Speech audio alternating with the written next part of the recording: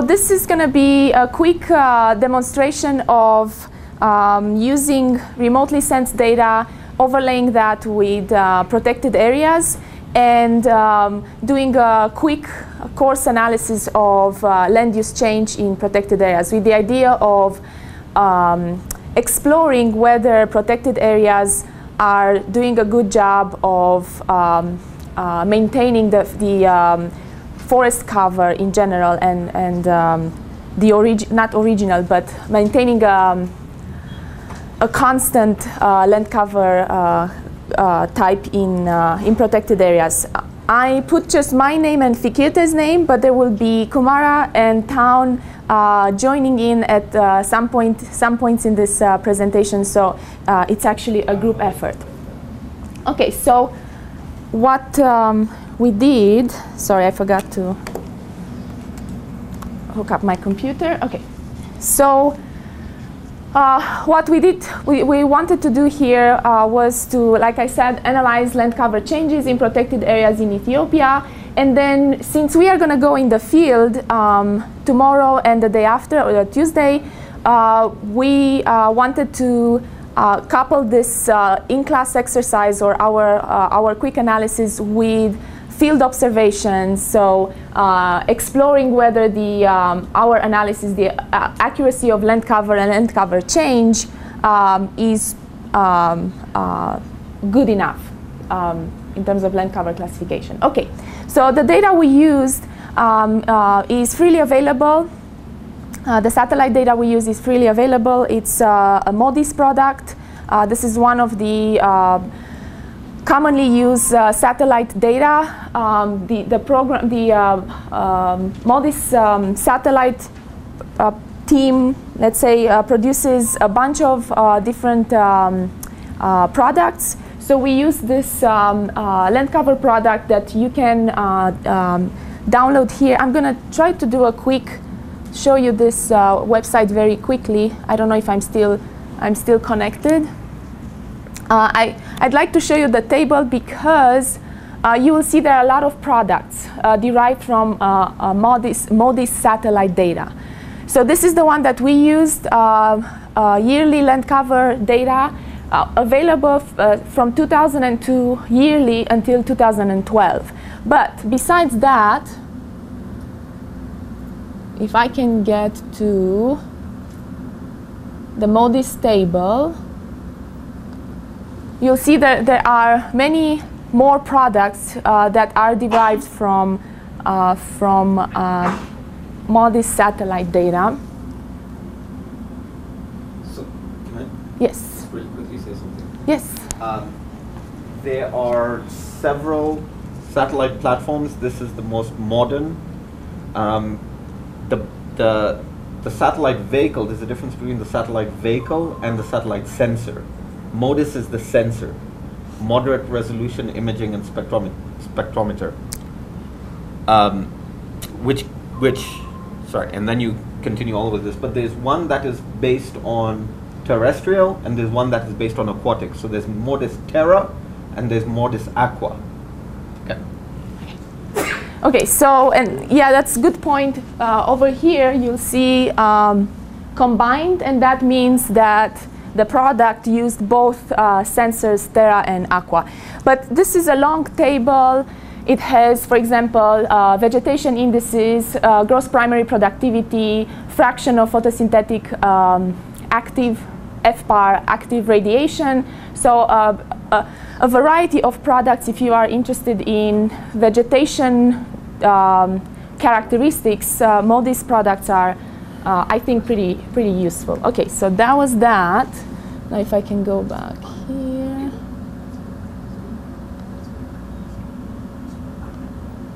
Okay, so we downloaded we um, downloaded the land cover product, the yearly product, and we downloaded the land cover for 2002 and 2012. So basically 10 years. Let's see uh, if we uh, identify uh, any land cover changes, and of course land cover changes do occur in, in 10 years, but maybe forest uh, loss or anything uh, maybe more important uh, for us. So between 2002 and 2012. Uh, the, the, data, uh, the MODIS, this uh, land cover product, uh, the resolution is 500 uh, meters, uh, the spatial resolution.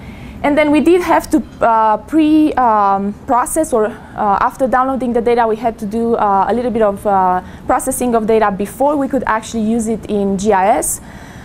Uh, but this uh, processing step is easily done with um, a reprojection tool, a MODIS, uh, it's called MODIS, Re MODIS reprojection tool, and it's, uh, it was developed by uh, NASA. It's freely available, and I uh, put the link here for that tool. What this tool does is it remember we talked about map projections, hit that information is useful. Uh, when you download uh, these data, they come in a projection called sinusoidal that is not um, very useful for, for what we are doing. It's a very, um, um, I guess for biologists, a very strange looking uh, projection. With MODIS reprojection tool, what you can do is change the projection, reproject data, uh, these uh, rasters to geographic projection or uh, an equal area projection like Albers equal area, and you also, in the same, in the same tool, what you do is you um, stitch together, uh, you merge together images because you'll see, um, uh, for example, for Ethiopia, there are, I think, I think three or four tiles that cover Ethiopia. So the satellite imagery uh, is produced in um, uh, these um, tiles, I don't know a different word for tile, but in these uh, segments and then we have to uh, put the segments together to make uh, uh, a continuous map, map for, for our study area. So with this MODIS, reprojection tool, you hit two uh, points, uh, reprojecting, getting rid of that weird projection, getting into a geographic projection, and also stitching together or mosaicing together pieces of, the, what, of what makes the image for, for Ethiopia. Okay, so here are the two uh, land cover products for 2002 and 2012. Uh, for class for the uh, land cover classes, you see numbers, uh, but there is a legend that you download with with the data. And uh, if you are interested, the first this zero is water, and then the first four uh, represent different forest types: broadleaf, evergreen versus deciduous forests. So one, two, three, four. Five, six represent uh, shrub, grass, and then seven, eight, two different types of crop. Uh, nine represents urban uh, buildup, uh, or so non, non-vegetative uh, cover. Um, and I think 10 and 11 represent, 10 is snow and 11 is uh, barren land, or vice versa, the last two. Anyways, and 255 is no data, so outside of the, uh, the tiles that I downloaded outside of Ethiopia, I have no data because that's where uh, the tiles uh, stop. Okay. And then we couple the, these uh, two um, images, two rasters of land cover from 2002 and 12. We uh, couple them with a shapefile. Remember rasters and shapefiles? We talked about that yesterday uh, with a shapefile representing the protected areas in, in Ethiopia. And here's where it got complicated because I started, when, when I started to uh, get ready for this workshop or uh, for this course, I downloaded uh, the um, shape, the uh, protected areas from this uh, United Nations Environmental Program World Database of Protected Areas. Uh, and here's the link. I downloaded data from there, and then some uh, time later, I, I, sat down with Fikirte, and she told me this is not correct. Uh, Gambela, Gambela uh, shape is Gambela National Park doesn't have this shape. Uh, there are some protected areas that are not really uh, um, protected areas anymore. So, but we decided we're going to keep this one, and we are also going to use locally, not locally, but nationally curated uh, data set uh, for uh, the national parks. So this is where Fikirte uh, contacted uh, colleagues here in Ethiopia, and she can tell you more if you're interested where this, these shapefiles came, came from. So we have national parks, plus the wildlife uh, reserve that we are going to visit. So we limited uh, the second set of analysis to national parks plus uh, Senkele, which we are going to visit tomorrow. Okay. So what's the reason for the big difference between those or some of the other ones, I forest reserves? Don't know. I don't. Uh, you mean the difference between W? Uh, yes. Um, we don't know. They are not updated. I guess. I, I, I mean, Ethiopian uh, skin. Uh, the first one, maybe there are a number of uh, protected areas which is established, but not yet uh, registered by IUCN and other, so the data is not incorporated. Even this uh, map shows the most of the protected area which is managed under federal government, but there are a number of protected areas which is managed uh, with respect to regional government. Mhm. So we have data limit, and th- that's the case most of the time. And some protected areas are reduced in size. Yeah.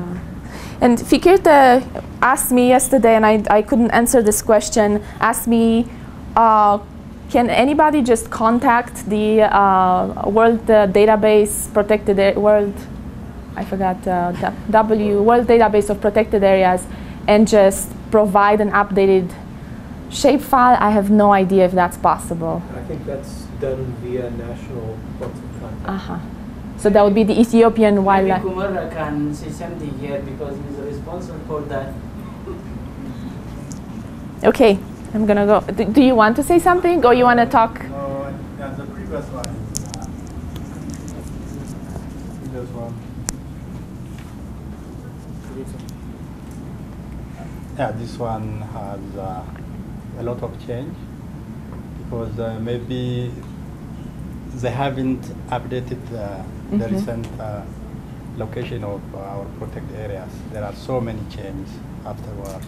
Yeah. But the last one which you showed us more reali- realistic. Yes. one. So is this something you can do uh, to uh, update this to send the updated information? Okay. because uh, you know supported by a volunteer from USA, which I told you earlier, Mm-hmm. uh, which came as a Peace Corps. He's the one who just updated the shape files of uh, uh, our protected area. Okay. Some five five years ago, no, three years ago, three years ago, four years ago. So the, the last your last uh, map is uh, the recent one and then more realistic. Because there are a lot of land use change happened to this the, the original one. Yeah. Thank you. Um, I I think this, this map include uh, forest, prior, uh, forest priority areas. We have 58 forest priority areas, and some of the map are, for example, this one is uh, Garjeda Forest, which I am working my PhD. Mhm. So there are other 57 such type of forest priority areas which are included in this map. So this is uh, not only uh, protected areas in the sense of wildlife, but also other forest priority areas which Mhm. are not uh, delineated or just uh, their uh, name is only inclu- in- included in forest priority areas, but little was done on, on these uh, areas. Okay. Yeah. So it's it's a very um, it needs uh, updating for sure. Okay. I'm gonna squeeze by. Okay, so this is the second uh, uh, GIS file, the second uh, shape file of, or vector that we used. Um, and then in terms of analysis, what we did, uh, first we merged the, the uh, I said there were four forest classes. We merged the four into a single forest class because we were more uh, interested in whether any forest class has changed into something else or any other uh, land cover type has uh, transitioned to forest, any type of forest. So we merged the, the four uh, forest classes into one. And then we also merged the, the two crop types into one. And then the next thing we did was using the shapefile with protected areas, the two different uh, versions we had, we extracted, um, we basically cut, cookie cut the um, um, raster. So we retained only land cover, um, the raster, the land cover raster was uh, reduced to just those regions that are uh, uh, in the protected areas uh, file. And then we also calculated the area that is um, represented by each class in each protected area. So this is tabulating uh, area in each class uh, in each protected area polygon. So just to see for uh, each um, uh, protected area polygon or prote uh, protected area um, uh, outline, what type of land cover we have, specifically amount, area of different land cover types. Okay, so what we see here if we use that shapefile that is not updated, uh, that has more uh, polygons and more areas that are actually protected currently in, uh, in Ethiopia, um, so what we see here are a number of pixels uh, that have not changed. So uh, pixels that have not changed that are were grass 10 years ago, still grass uh, now, or 2012, sorry, shrub, forest, uh, crops, then barren uh, land and water.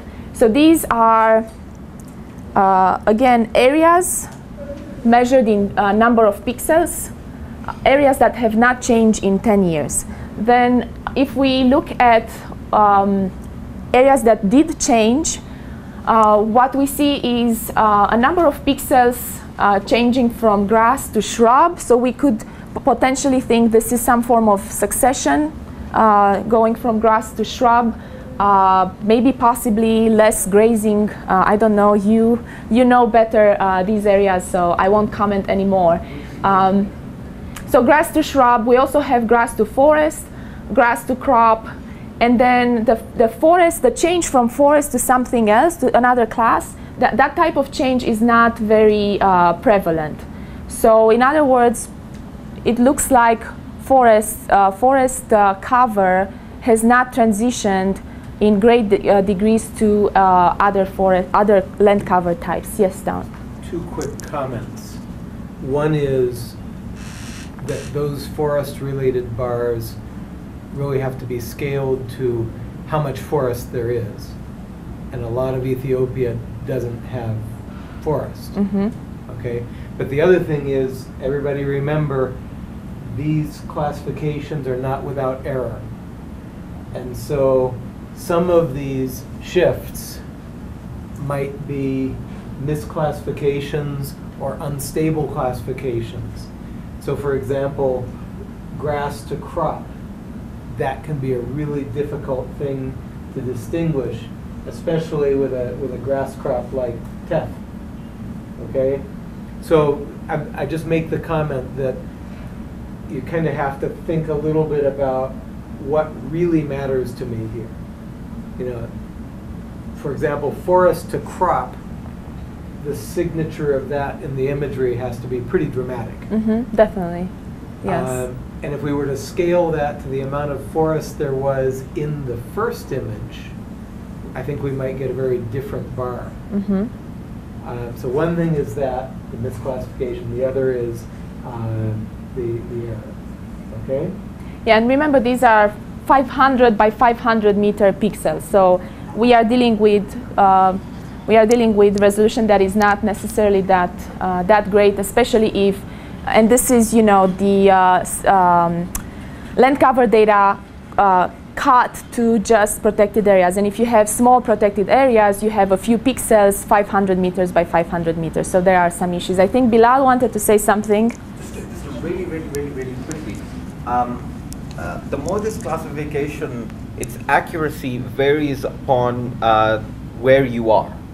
So it's really good for some tropical areas. It might not, not be good for, it might be good for forested tropical areas, but not so good for uh, grassland ecosystems. Um, as a result of this, the folks over at NASA have decided that um, they want to do away with some of the, the categorical data and instead use continuous data. And it's a, it's a land cover classification that they call vegetation continuous fields. And so that's just a gradient from like 0 to 100 that tells you the relative density of vegetative cover. Yes, okay. Yeah, and I didn't mention that um, uh, the MODIS land cover uh, product has, I think, five, I can remember, uh, precisely at least five different land cover uh, classification schemes. And we picked the one that had the least uh, classes because with more classes, uh, you, in, you tend to have uh, even uh, more classification errors. So we picked the one that had the, the least uh, diversity of, of uh, classes. Okay. And then just, um, so this was looking at the numbers or graphing numbers, but, but this is a spatial view of um, changes. So what I did is I um, coded in gray pixels that had not changed between 2002 and 2012. So anywhere you see gray, like for example here, uh, here and there, and somewhere in here, um, that means the land cover, think about uh, classification errors, all that, but so with those caveats in mind, the land cover uh, has not changed uh, where you see gray. And then I, I made um, gradient from uh, dark red to blue, uh, various types of, uh, of changes or switching between uh, one uh, land cover type uh, and another. And there are so many combinations that we're not going to go through, but I just wanted you to have a visual with the only, I guess, main point that I can make is that where you see large areas of gray, it may, it may indicate um, least uh, land cover change in the 10 years. And then we are, I'm not sure where I'm supposed to stop and let, oh, I know, uh, we are going to stop soon. uh, let somebody else uh, chime in. So at the national park level, same thing. Here are, uh, here is the area in number of pixels that has not seen uh, changes. and you see for for the uh, national parks here, just, just the national parks, not all protected areas, uh, we have uh, small numbers of pixels in forest because it's not a, a very uh, broad land cover type. And then shrub no change and grass no change, these are the dominant ones. And then for change, um, again, area uh, uh, quantified as numbers, number of pixels, um, we see change from shrub to grass, again, grass to shrub, uh, some crops to grass, which could be, could be uh, related also to uh, classification error, and then forest to shrub and forest to grass. We have some, uh, some amount of change from forest to shrub or, uh, or grass. Okay, and then the same thing, a visual um, of, of the um, national parks and protect, sorry, national parks and land cover change.